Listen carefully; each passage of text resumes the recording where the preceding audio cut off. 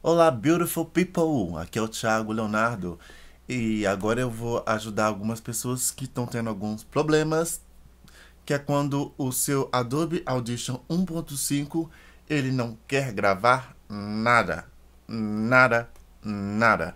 Um exemplo, vou tentar fazer uma gravação aqui, clicando no R e depois vindo na bolinha vermelha.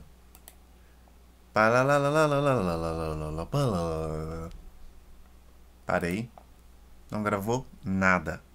Nada. Nada. Ou também pode ser o erro dele estar tá gravando só do lado direito ou lado esquerdo, tanto faz. A maneira de resolver é a mesma. Você vai até em Options, Device Order, e aí vai abrir uma aba. A primeira aba é a Playback Devices. Vai ter uma opção lá chamada MIDI Paper, é, Mapper. Você deve clicar em cima dela e clicar na opção Use, ou seja, para que ela seja usada. Tudo que estiver no seu lado uh, esquerdo é que não está sendo utilizado pelo programa. E tudo que está no lado direito é que o programa está utilizando. Ou seja, esses são os caminhos por onde o, o áudio passa no PC. Para o Adobe Audition reconhecer quais esses caminhos, você precisa colocar eles em uso pelo programa.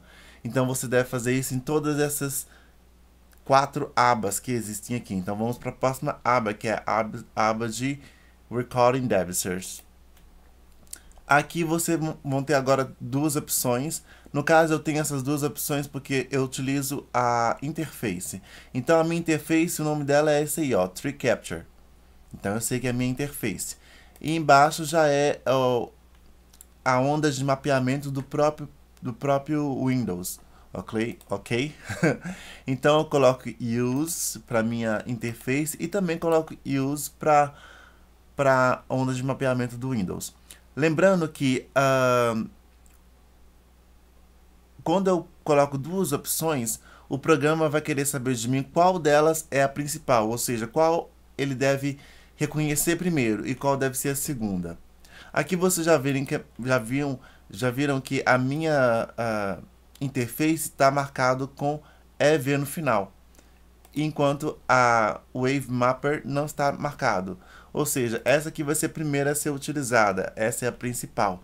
Caso ela dê pau, o Windows vai utilizar a segunda opção, que é do próprio Windows, ou melhor, o Adobe vai utilizar a opção do Windows, ok? Se você quiser priorizar, ah, no caso, por exemplo, sem ser a mesa, a outra opção do Windows, é só vir aqui em Use EV que você vai ver que a prioridade vai passar para a outra opção aí, ok?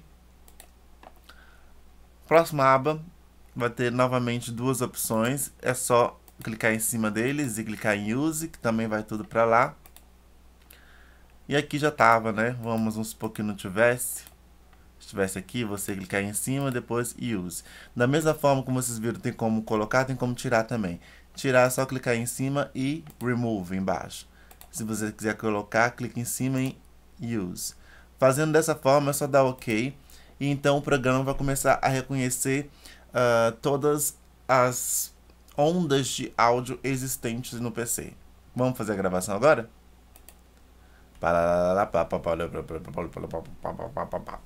Pronto, gravou. Já está tudo aqui. Isso aqui já é minha onda de gravação.